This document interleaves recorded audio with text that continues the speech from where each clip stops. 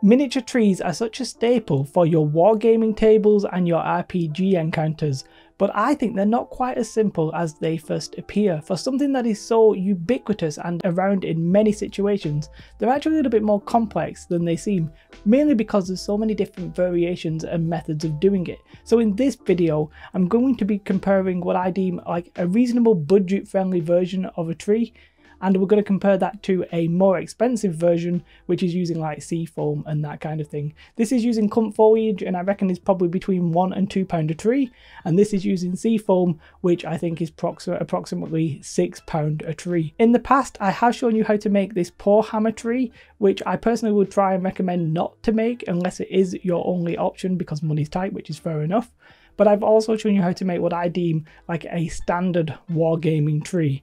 Now I'll be comparing the two we make in this video to this and we'll talk about the costs as well. But first, you know, let's show you how to make those two different trees. For both of these, we're going to be using the Woodland Scenic Armatures. Now I think they come in a pack of 12 for approximately 10 to 15 pound. That's roughly equivalent in dollars as far as I know by the way.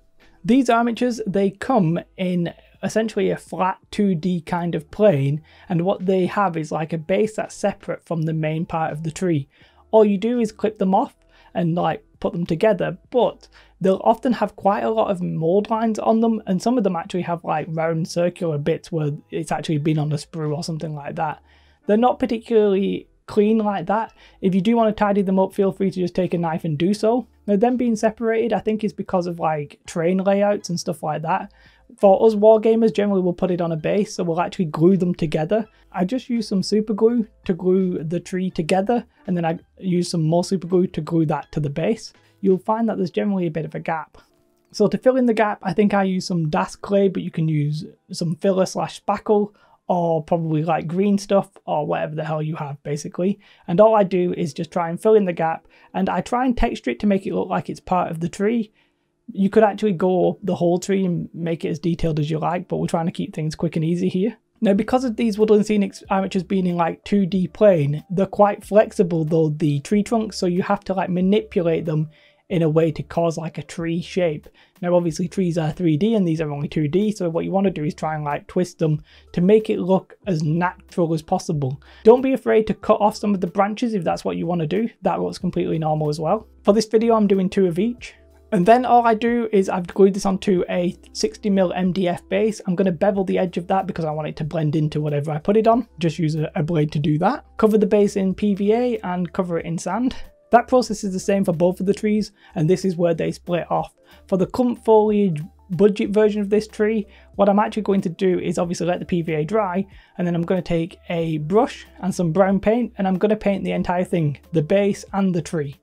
Now you could, once that's dried, dry brush it, but I'm lazy and didn't want to do that. And then very simply, I'm going to use some hobby, it's called Hobby Tack, which is hard for me to say, but you can use uh, Aleene's Tacky Glue, I believe, which is sort of like a budget version of it. But the Hobby Tack is actually Woodland Scenic's product, and it's designed for this purpose. It is incredibly, incredibly tacky. It'll stick to your fingers, and like it becomes really annoying to get off.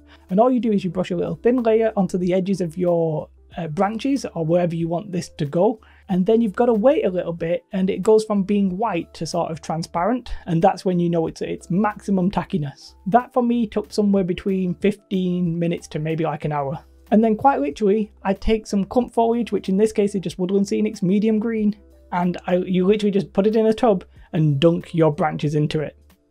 Like that sounds very simple and it is very, very simple. And that's one of the good things about it. Once you take it out, there'll be some bits that aren't properly attached to the branch because the clump foliage is sort of stuck together in itself in clumps. And so what you need to do is basically give it a shake so you it doesn't all fall off, but the bits that aren't attached to anything come off. And what I did is I left it overnight, and even overnight, some bits just sort of came off. Anything where it's like just dangling by a thread, you know, just take that off. Importantly here, you do want to seal this uh, tree with using the clump foliage. So the best thing to do is get maybe like some watered down PVA and a bit of Floraid or dish detergent so it like actually soaks into this. Put it in a spray bottle and spray your tree. Make a right mess of it, spray the tree. You really want it to like all come together, it's clump foliage, and you want it to all stick together. We're not trying to get the clump foliage really to stick to the tree.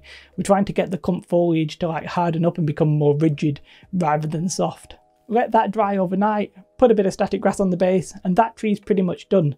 And the cost for that is actually pretty low, excluding stuff like sand and the paint, because I presume you probably already have that. It's the Woodland Scenics armatures, the glue, which is sort of there's two different options for you, and then the clump foliage, which is in the UK, you can get a decent sized bag for like £5. So I reckon easily you can get 12 trees for approximately one to two pound a tree.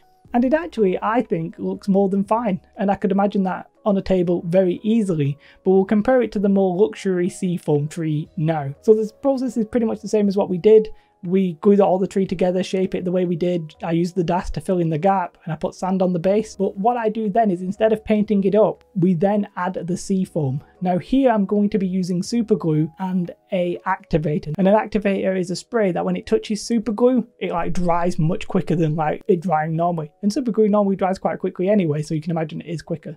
So the way that I did this, it's either put glue on the branch of the seafoam or and then spray the tree or the other way around. Don't think it really matters too much to do whatever's comfortable, but you do need an activator. If you was just there with the super glue, you would be there an awfully long time. Now the seafoam probably cost me about £18 for a big box, and I reckon you could very easily do 10 trees with the box that I used. I think I maybe, I did two trees and I've used maybe a, a less than a fifth. But yeah, gluing the seafoam branches onto the branches of the tree, very delicate process. One tree took me approximately 25 minutes. Now an alternative glue you could use those, I've seen, I think I've seen Geek Gaming, Luke APS, use a, a contact adhesive. So what you do with that is you put the glue on both the branch and the seafoam and it'll connect together a little bit easier. But you either need super glue and an activator or maybe the contact adhesive. One thing to note with these seafoam branches, they're very delicate though. They can break off reasonably easily. So one way to firm that up is what we're going to do next, which is to spray the whole thing in brown. Now I did that outside, so I'm not going to show you any footage of that because it's cold and I didn't want to take all the camera and stuff like that, so don't hate me. But spray the whole thing brown and then we come straight to adding the foliage on the tree. To get the flock onto the tree though, there's a couple of different options. We have the Blu Tack repositionable glue, which in the UK I think is about £8. In the US you get access to the 3M spray glue. Both of them are good options, but a little bit pricey. Now I do see, I think for Geek Gaming again, Luke APS, the man, the legend, he has used uh, Yacht Varnish, which I have also used in the past, and it actually works pretty well and can possibly be a bit cheaper, so just keep that in mind. For the video I'm using the Blu Tack repositionable glue.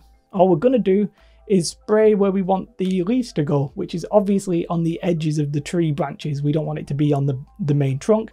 So just spray that. I sprayed this in the house to get it on the on the camera, and I completely ruined my desk because I got it all over my desk, and my desk is all, all sticky still because it's Blu Tack repositionable glue. It stays sticky. Get a get a big tub, and in this case, I'm going to be using just one kind of flock, which is Woodland Scenics Blended Turf, simply because it's got a nice variety of different greens, and it's the one that I use on all my trees. You could use like darks and mediums and lights and coarser flock and all that kind of stuff, but I just went with simple here because even though this is an expensive tree, you know, I don't want it to be super, super, super expensive. All you do is sprinkle that over your branches then, and then tap it so all the loose bits comes off. And what you want to do is take a dry brush, and I mean a brush that is dry rather than a a dry brush for painting and just go onto the trunk of the branches and just knock off any fog that's there where it shouldn't be. Again, I did actually seal this with some watered down PVA. I'm not sure it made that big of a difference, but I did. And then I put some uh, static grass on the base and that's basically the trees done. So now let's actually compare the two. Cost for these two and we'll also compare what I deem the standard tree. For comparing all of these trees, I'm going to ignore the poor hammer tree because if you can avoid it, I would avoid it. And the one step up from that would be this kind of tree, which obviously I'll show you pictures of as well, which is the clump foliage tree. But really, I think this kind of clump foliage tree actually is probably a nice little balance between budget and aesthetics. It's not very expensive, and you could improve the cost by making your own uh, armature by using like wire. So let's say you've got your Woodland Scenics armatures though, you need a glue. The two glue options are the Hobby Tack and the Aleene's Tacky Glue and then you need your clump foliage. You could use different versions of it. This is just mid-green from Woodland Scenics. And you know what? It actually looks pretty decent. I, I can't lie. It's not perfect. Some bits where really I probably could do with going back over it a little bit and then maybe redipping it in some places. But it looks fine. And for the price, as I said, it's probably about, let's call it £1.50 a tree or $1.50 a tree, and you'd get 10 for that amount easily, probably actually 12. So in total, I think you're looking here at about £18 UK, probably about $18 US, and you'd get 10 to 12 trees, which I honestly think is pretty damn good. I will leave a link to all of the armatures and everything that I've used in the description below if it's something you want to like pick up. Keep in mind if it's Amazon, I probably get like a commission based on that. And then let's talk about the tree that I didn't make in this video. And this is the medium mid-range tree that I think is like the standard tree. And what I like about this is it's still the Woodland Scenics armatures. It's actually a different armature than one I've used in this video, but it's a Woodland Scenics armature. And then the main difference is the substructure of the tree. Now in this case, I think I'm using rubberized horsehair. There's other options though. You can use uh, cocoa fiber. You can also use like a green cotton wool mesh that I think Woodland Scenic sell. You can use cotton wool. Now there is an option here by Geek Gaming, Luke APS.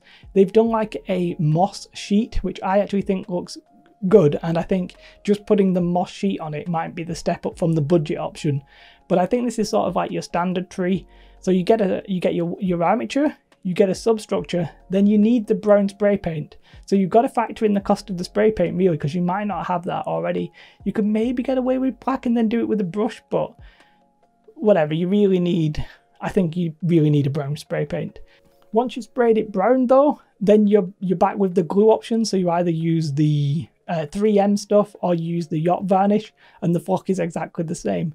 The main thing here is that the substructure is generally much cheaper than say the seafoam. The seafoam I think I paid uh, like £18 for a big box of it, uh, whereas this stuff is like a couple of quid for a massive amount of it. So I would recommend really is like a standard tree, but it's also relatively firm because there's more substructure rather than the fragile seafoam branches um, really once you've sealed this, you're like very rarely gonna like actually damage it. So for me, the mid-level tree is still a viable option. For the standard tree, and this is what I was talking about like in terms of problems when it comes to trees, for maybe 12 trees, you are looking at approximately 40 pound so that's $40 for 12 trees. It can be pretty expensive and again I'll leave all the links in the description below but you just have to keep in mind trees they seem really simple but they're actually reasonably expensive. And then last but almost certainly not least is the seafoam tree. I think you're probably like me and agree it by far it is the best looking tree. Is it suitable for the wargaming table due to its like fragility? I mean that's for you to decide how how do you store your trees do you transport them? If you're just going to have them at home in like a box that's relatively like safe.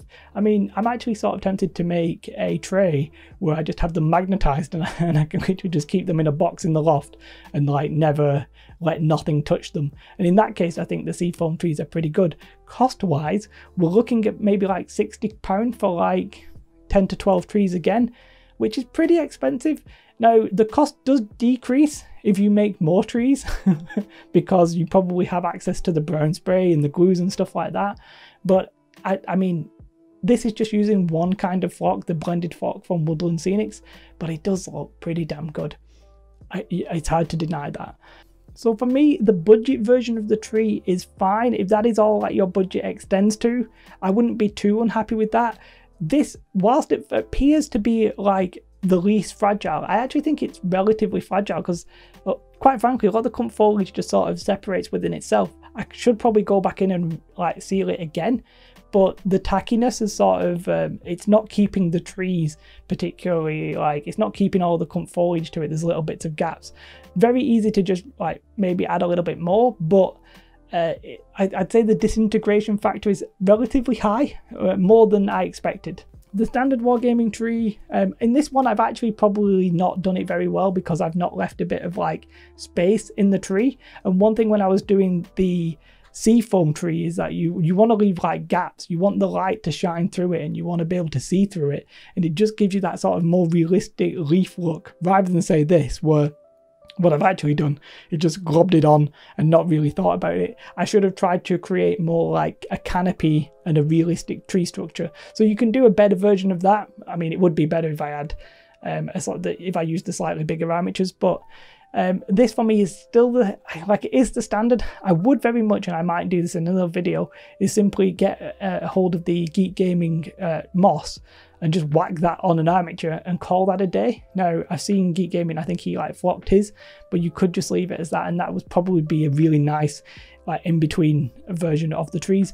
And the seafoam stuff is incredible but expensive.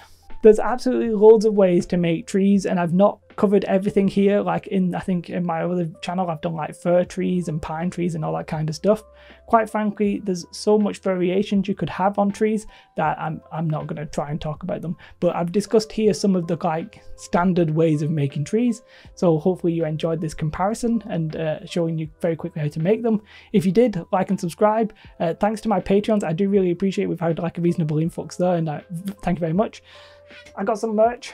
Have a most beautiful day. Like and subscribe. Goodbye.